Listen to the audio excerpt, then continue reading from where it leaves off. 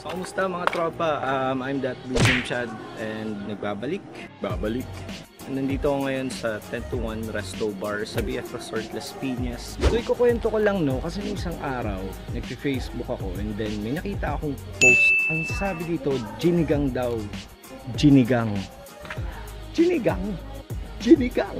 So, itong post na to ay tungkol sa isang mix, sa isang cocktail mix gawa sa gin at sinigang mix.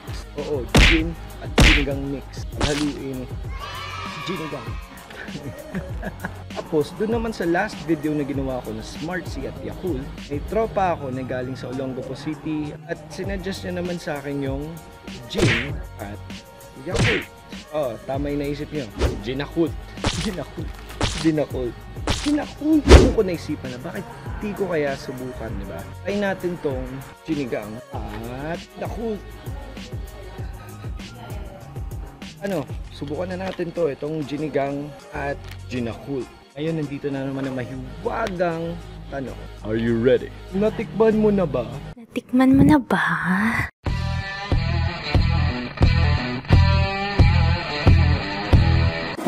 So, susubukan na natin ngayon ang gin plus sinigang mix. So, ang kailangan lang natin, kasi itong, binuksan ko na, pero itong sinigang mix na to, sabi kasi it makes 1 liter.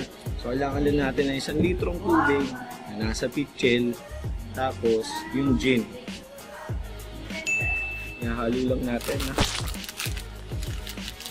Lalaway na ako sa ang asin na to. Okay. Stirrer, syempre sa pitchel, kailangan stirrer natin kutsarita kasi ang tanga, di ba? Mali.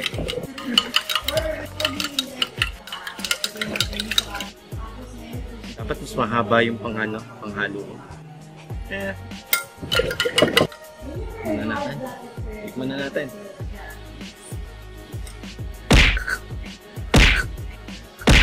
Masarap naman sinigang mix, kaya lang, di ba? Hindi siya dapat kasi ganito eh. Tama na yung asin. Kunin na natin yung gin. Ito, binuksan ko na yung gin. Tanggal ko na yung cap. Kumuha na ako actually kanina. Ang gagawin natin, um, dun sa post, ang ginawa nila, isang buong pitchel. So, sa isang pitchel, ng 1 li- uh, liter na tubig, nilagay nila isang bote ng gin. Pero sa akin, ang gagawin ko lang ngayon, since sinalo ko na to, bali gagawin ko siyang mixer. Tapos, maglalagay na lang ako ng gin sa baso.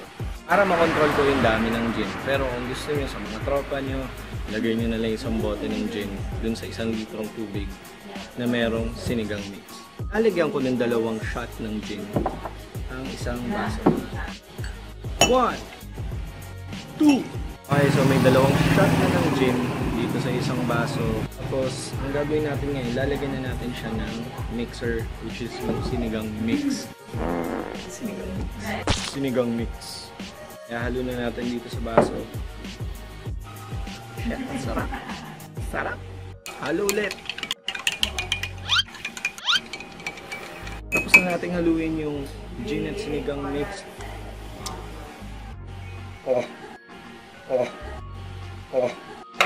Yung palang masarap na. Lagyan natin ng yelo.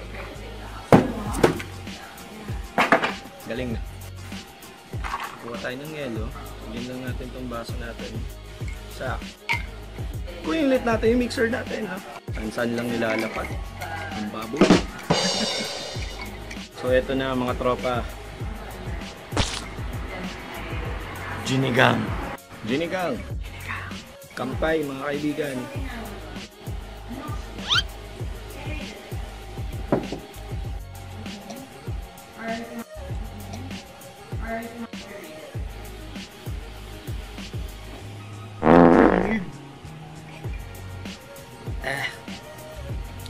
Ng lasa. Anyway, de-describe ko sa inyo yung lasa nito ah. Actually, yung dalawang shot ng gin na yun dito sa isang baso, hindi masyadong lasa eh. Medyo mapait, oo. Pero yung lasa ng sinigang mix, yun yung nagpa-weird sa kanya eh. Nagpa-weird sa kanya. Imagine niyo to, malamig na sinigang na mapait. Ay, yun lang naman talaga yun. So overall, hindi ko na inumin to ulit, no? Ayoko na siyang inumin. Ang bibigay kong siguro rating dito from 1 to 10, 1 na tae, 10 being masarap. 3? Hindi ko na inumin to ulit. Salamat sa nag-post ha. Last na yun. Move on naman tayo sa Ginakut. Unang step, maglagay tayo ng 2 shots ng gin dito sa baso. 1, 2. Susunod na step, lagay tayo ng isang bote ng Yakult dito sa baso na may dalawang shot ng gin. Ay, buksan na natin. Kahit talagang lasa ng ginigang. Bukas na yung Yakult, so ilalagay na natin siya dito sa gin. Okay, ginamit ko na to sa ginigang.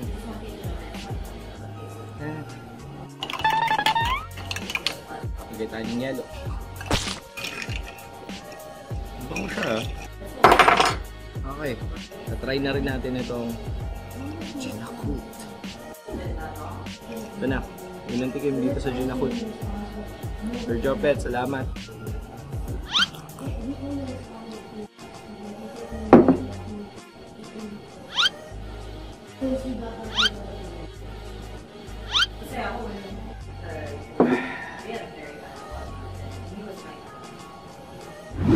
Pwede. Pwede itong Ginacult ha. Masarap yung lasa niya. It's a mix. It's a cocktail mix. So natural, lasa yung gin. Tapos lasa mo yung Yakult. Again, weird ang lasa niya. Pero sa tingin ko, mas iinumin ko pa to kaysa doon sa ginigang. Okay? Pwede talaga eh. Ang, ang tapang lang yung lasa ng gin. Pero pwede. So maraming salamat sa panonood ulit dito sa panibagong video ko. Uh, tinry natin tong ginigang. Tinry din natin tong ginacult. Um, again, yung ginigang, kung nainumin. Yung ginacult, eh, pwede pa siguro. Big shoutout nga pala kay Sir Jopet from Ilonggo City. Sir, salamat dito sa ginacult na ano, na tip mo sa akin. Like nyo rin tong uh, Facebook page ng 10 to 1 Bar and Restaurant. So, uh, lilink ko na lang sa description. If you like this video, hit the like button. Comment na rin kayo doon sa comment section kung natikman nyo ba. Kwento nyo naman sa akin kung anong naging experience nyo sa Ginigang kasi nyo ko natatry ulit eh. Click nyo na rin yung notification bell. Again, yung katulad nito doon sa baba para ma-update kayo sa mga latest videos na gagawin ko. Again, I'm that dude named Chad. Maraming maraming salamat sa panonood ng video na to. Next time mga tropa, okay? Thank you. Ginigang, ginigang, ginigang, ginigang, ginigang, ginigang, ginigang, ginigang. Nakudji, nakudji, nakudji, nakudji. What?